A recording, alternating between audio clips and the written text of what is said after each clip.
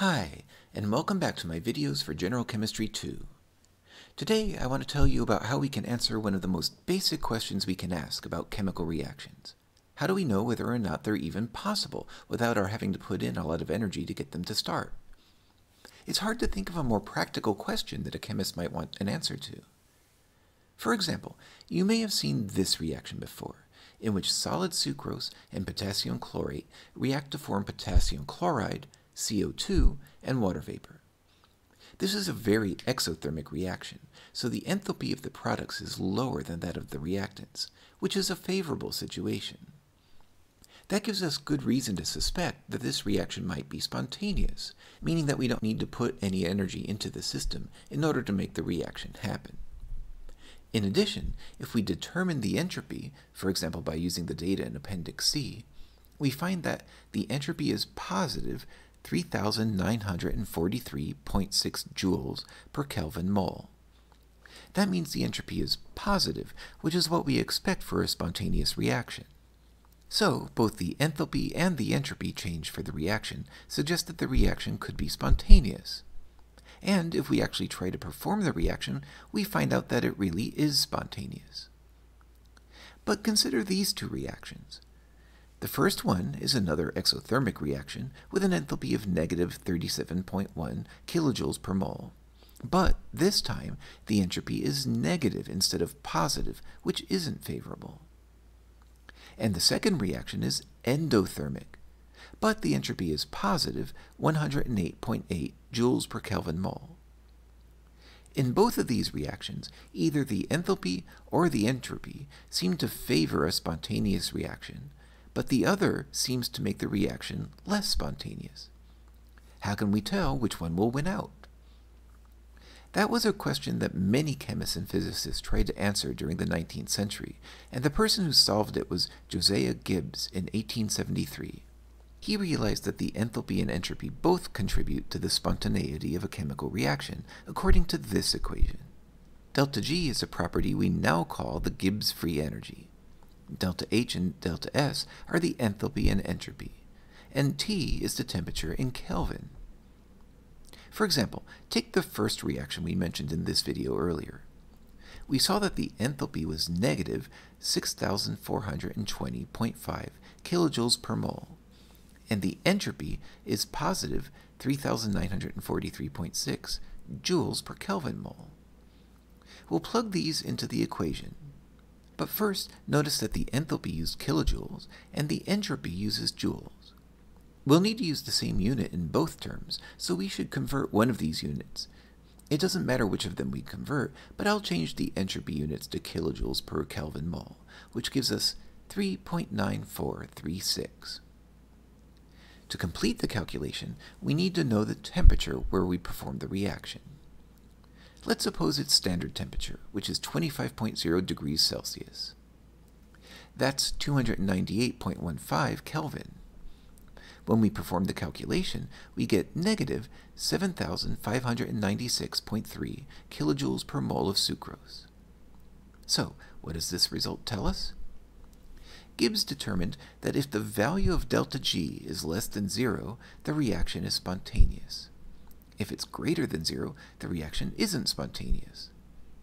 It's important to notice that if delta G is greater than zero, that doesn't mean the reaction is impossible, just that it isn't spontaneous, which means that we'd have to put energy into the system in order to perform the reaction. Finally, if delta G is exactly equal to zero, the reaction is at equilibrium. This is a very useful way of determining whether or not a reaction can occur spontaneously. But after Gibbs proposed the idea, it was almost overlooked forever. It turns out that Gibbs wasn't a very good communicator, and when he published his discoveries, it was in a fairly obscure journal, the Transactions of the Connecticut Academy. It might have faded into obscurity, but luckily it was noticed by the Scottish physicist James Clerk Maxwell, who recognized that Gibbs had made an important discovery and publicized it so that other scientists heard about it. It really pays to learn to talk to other people about your work when you're a scientist. That's one reason you learn to write good reports on your experiments when you take a chemistry course in college. Anyway, there's actually two easy ways to determine the Gibbs free energy for a chemical reaction. One way is to use the equation we already talked about. The other way is to use Appendix C in your textbook. The value of delta G for lots of compounds are listed in the middle column. Just like the enthalpy and entropy, we can calculate the Gibbs free energy by finding delta G for the products and subtracting delta G for the reactants for a chemical reaction. But watch out, it's important to know that the data in the appendix is only good if the reaction is taking place at 25.0 degrees Celsius. If the temperature is anything else, we need to use this equation, which we saw earlier.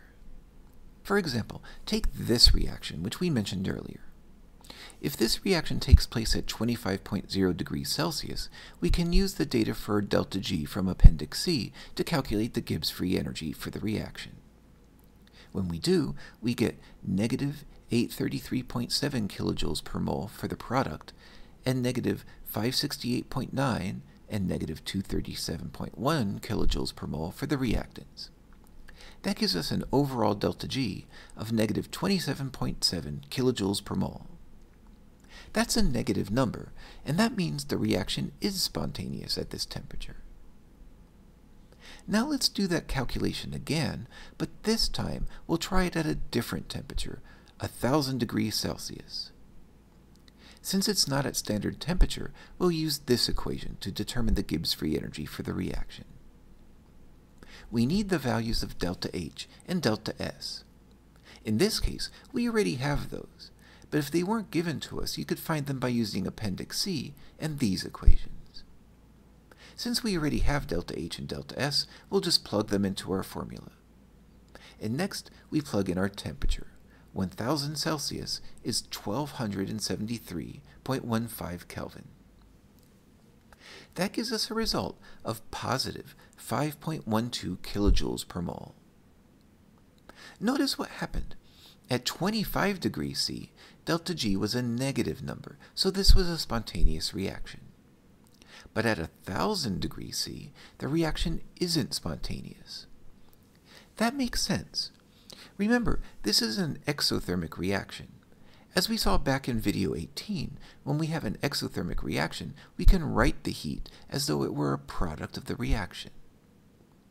But now think about what happens as we increase the temperature.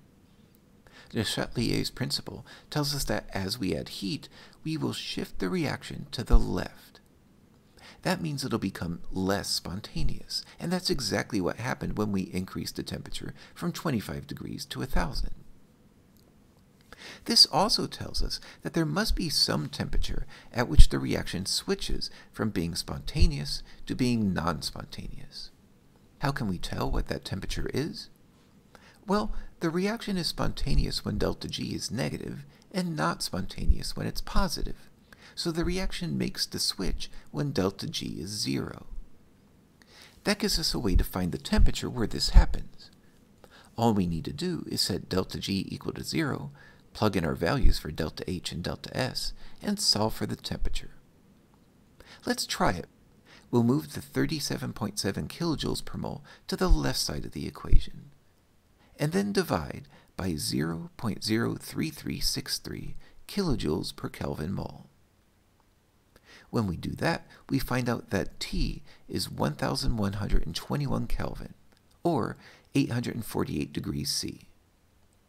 So that's the temperature where the reaction flips from being spontaneous to non-spontaneous. Below that temperature, the reaction will happen by itself, without the need to add energy to the system above that temperature, we'll have to add energy in order to get the reaction to happen.